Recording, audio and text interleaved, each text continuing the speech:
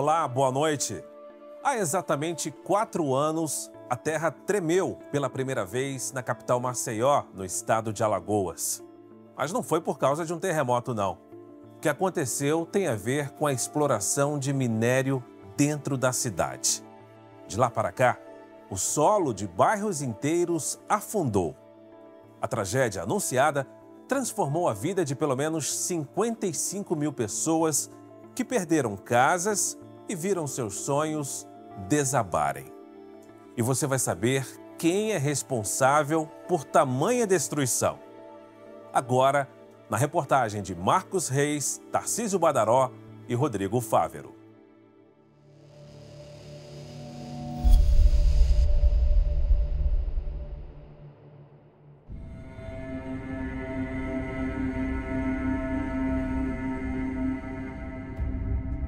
Câmera de segurança balança por apenas 4 segundos. Mas registra um fato que mudaria para sempre a história de uma cidade inteira.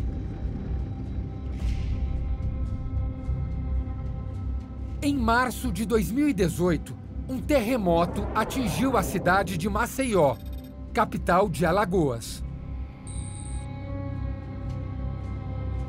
No início, os moradores pensavam ser uma pequena demonstração da força da natureza. A gente começou a pensar que aquilo ali seria uma acomodação do solo. Mas depois ficou provado que era um exemplo do que a ganância e a imprudência podem fazer. Como é que libera uma empresa mineradora para cavar embaixo do solo numa área urbana? É revoltante, cara. Assim que os tremores atingiram Maceió, várias marcas foram visíveis pela cidade. E uma das primeiras foi essa aqui, uma rachadura que começa no chão, vai subindo por esse muro. A gente que é uma, uma rachadura bastante grande, uma marca muito visível atravessa um muro e atinge a casa que está por trás. A gente não consegue ver, mas tem uma casa aqui atrás que também foi atingida. Essa rachadura segue para o outro lado. As rachaduras abriram buracos pelo asfalto e seguiram caminho em diagonal por vários quarteirões. A próxima casa atingida foi essa, que segue no percurso aqui da rachadura. Mas ela pega parte do muro dessa casa, pega a casa que está por trás. Na época, esse foi um dos trechos mais afetados. Era uma rachadura muito grande, uma abertura muito grande, tanto que a rua também teve que ser interditada. E o caminho segue. O tremor durou pouco mas foi o suficiente para causar todo esse estrago.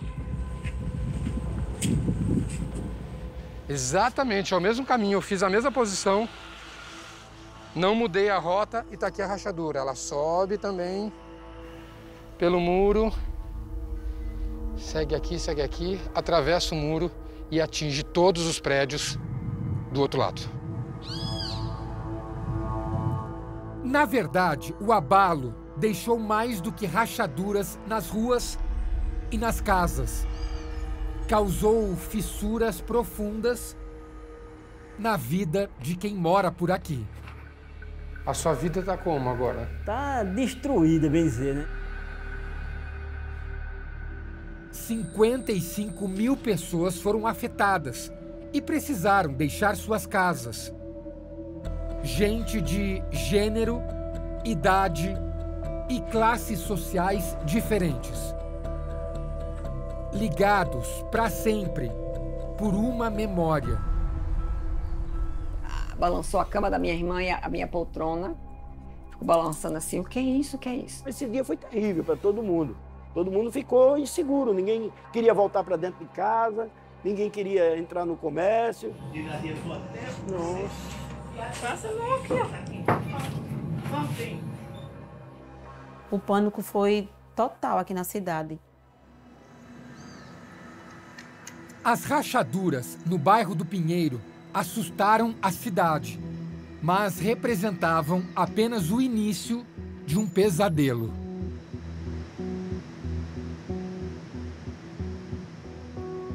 Quando se confirmou o risco de afundamento do solo, moradores de algumas regiões aqui de Maceió tiveram que sair de suas casas e procurar outro lugar para morar. Cinco bairros foram atingidos na cidade e um deles a gente está chegando agora. Esse aqui é o bairro do Bom Parto, às margens da Lagoa do Mundaú. Quem chega a primeira vez aqui se assusta com o que vê. A impressão que nós temos é que a gente está num cenário pós-guerra, aparentemente tudo destruído. Na verdade, os moradores, quando saíram daqui, levaram todos os seus pertences, incluindo as portas das casas, as janelas, os telhados, para poder recomeçar a vida em lugares mais seguros. O Bom Parto fica em uma das bordas da área de risco, no mapa desenhado pelas autoridades com auxílio da Braskem. Só nesta região, duas mil famílias foram embora.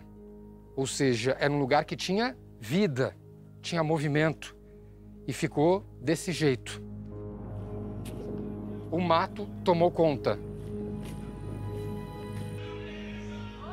Também os bichos vieram: rato, cobras, muito mosquito.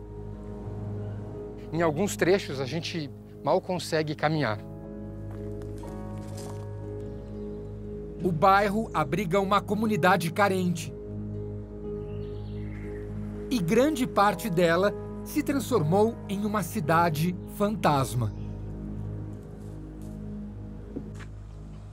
São ruínas e mais ruínas, mas só até certo ponto. O estudo que determinou as condições do solo apontou perímetros, ou seja, lugares em que os riscos de afundamento do solo são maiores do que outros. Esse estudo, por exemplo, apontou que exatamente aqui é o limite desse bairro, como se tivesse uma linha imaginária. Dessa linha imaginária para cá, aí existe o risco do solo afundar, ou seja, todo mundo que morava aqui teve que ir embora. A gente vê as casas desse lado todas abandonadas. Mas dessa linha imaginária para o outro lado, o estudo apontou que não existe o risco. Apesar da gente estar exato um, dois passos dessa linha, as pessoas tiveram que permanecer morando aqui. Quem precisou ficar ainda não entende os motivos que fizeram o mapa englobar apenas parte do bairro. Você está muito perto do limite ali. É muito pegado. Mas lá saiu, porque disse que estava tava em perigo. E a gente colado, não estamos em perigo. Queria entender isso. Taline vive aqui há 13 anos. A casa é simples, feita com as condições que a família tem. Mesmo assim, ela sempre pareceu segura.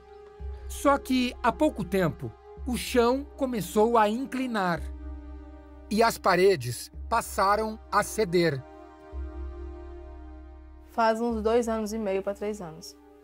Antes não tinha? Não. Sempre vi aquela. É um pouco de rachão, mas nunca abriu. Nunca abriu. Dessa forma que está abrindo, não. Quando a gente caminha dentro da casa da Taline, é que a gente entende o porquê ela fala tanto em desnível do solo. Nós estamos, por exemplo, na parte de trás da casa, que é onde fica a cozinha. Quando a gente vai até a parte da frente, que é a sala, aí aqui a gente começa a sentir a força, como se a gente estivesse subindo uma rampa. Não dá para enxergar exatamente essa subida, mas a gente sente pelas forças que a gente faz com a perna. Segundo ela, esse desnível começou após aquelas rachaduras no chão. As rachaduras foram se espalhando pela parede, a gente vê que em todas as paredes aqui tem muitas rachaduras e inclusive essas colunas já estão se desprendendo. Ela e outros moradores que vivem em situação parecida procuraram a Defesa Civil. Agentes vieram até o bairro, mas não constataram afundamento do solo no local. não existe hoje, dentro dos nossos dados, uma causa em efeito, uma condição que leve a, a dizer e a afirmar que seja por conta da subsidência. Eu acho que eles só vão fazer alguma coisa quando uma casa dessa cair, aí matar uma criança, matar um ser humano, aí vai vir os órgãos tudinho querer abafar. Não, porque não foi culpa, porque ela não saiu. Em todos os cômodos, as rachaduras chamam a atenção.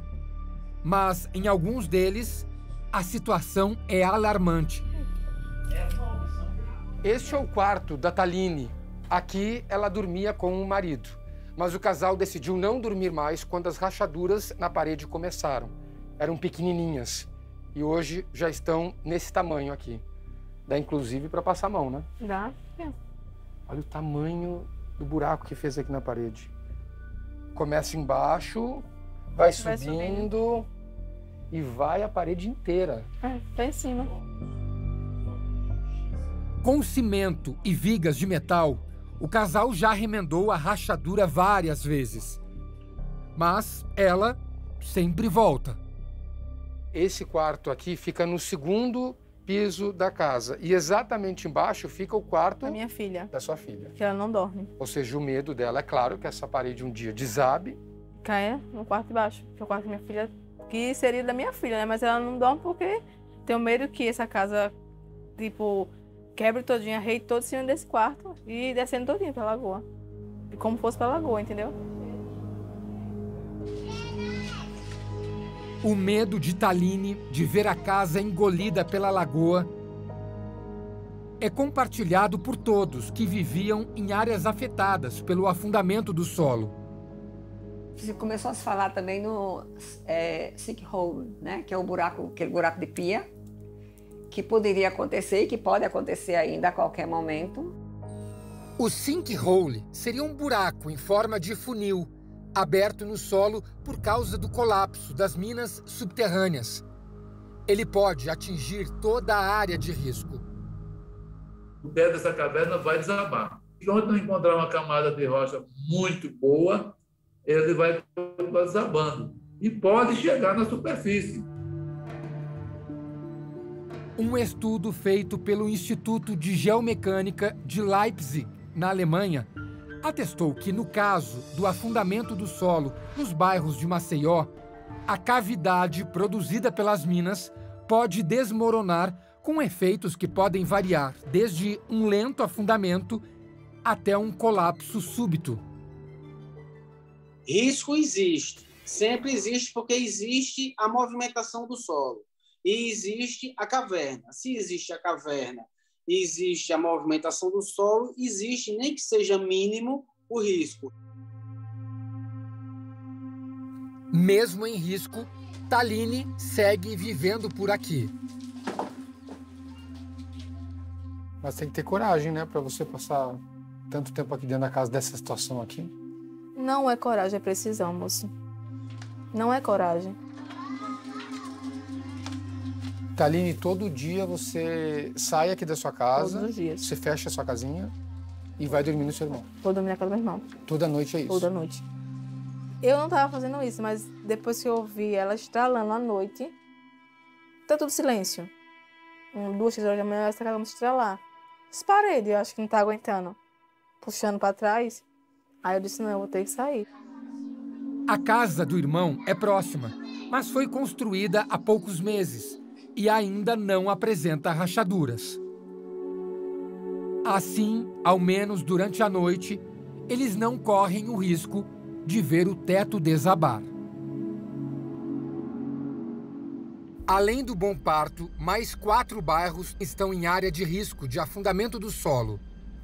Uma parte do Farol, Mutange, Pinheiro e Bebedouro, que também fica às margens da Lagoa do Mundaú. As famílias que viviam aqui em Bebedouro foram saindo aos poucos. O bairro foi esvaziando. Em um ano, praticamente não tinha mais ninguém. Ficou tudo vazio. Tudo menos duas ruas. Os estudos de movimentação do solo indicaram que metade dessa rua não corria perigo. Ou seja, as famílias tiveram que permanecer aqui. 812 delas seguem vivendo isoladas. Imagens de satélite ajudam a mostrar esse isolamento. De um lado, um mar de casas destelhadas e desocupadas, que fazem parte da área de risco. Do outro, uma estrada que leva até a mata. Por isso, quase todas as casas da região, conhecida como Flechal, têm pichações com pedidos de realocação.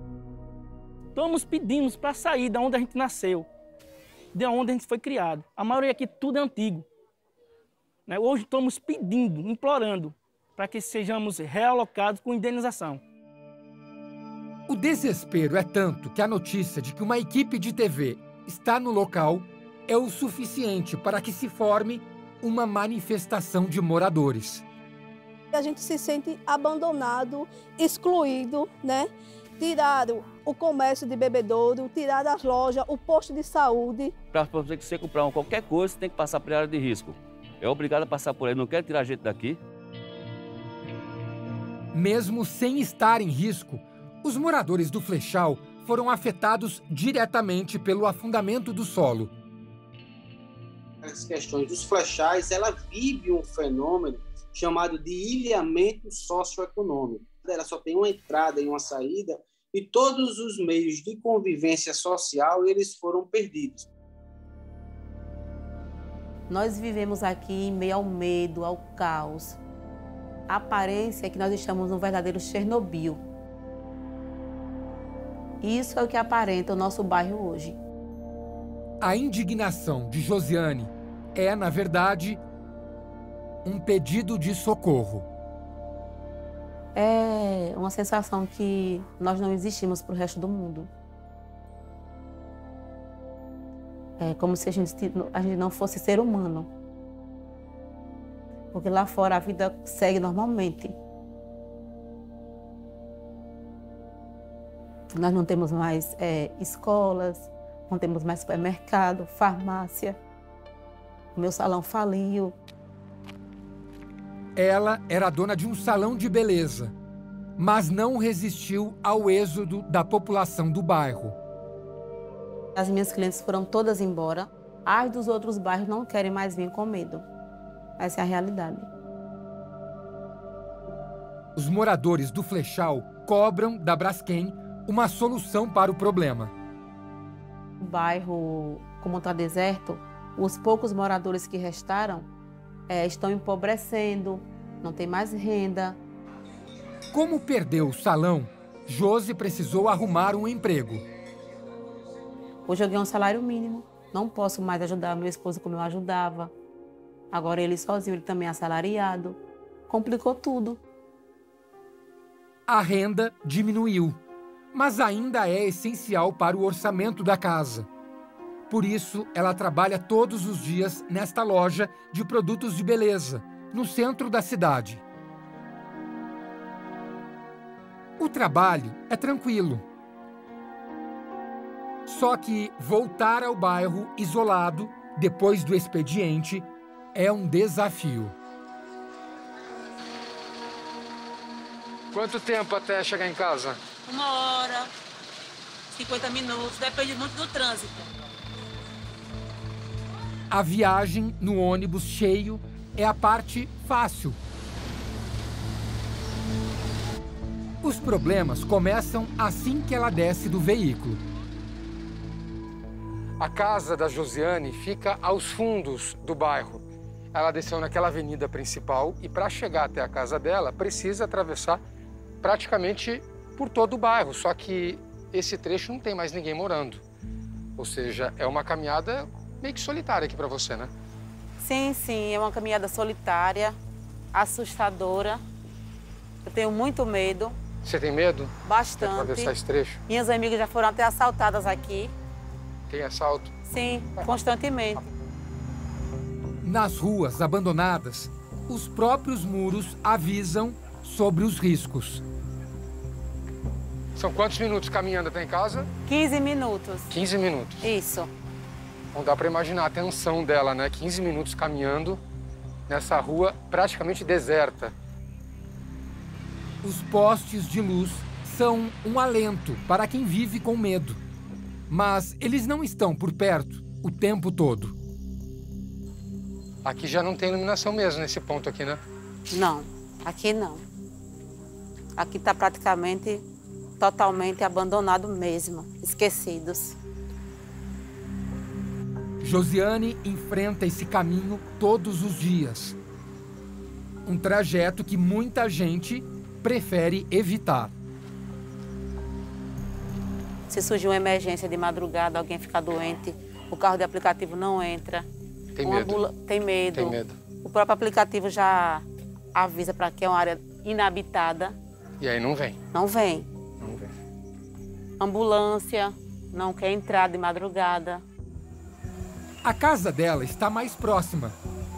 Hoje nada aconteceu, mas ela sabe que amanhã a história pode ser diferente. Nós vivemos ne- nessa situação, em meio ao medo, ao caos, à incerteza.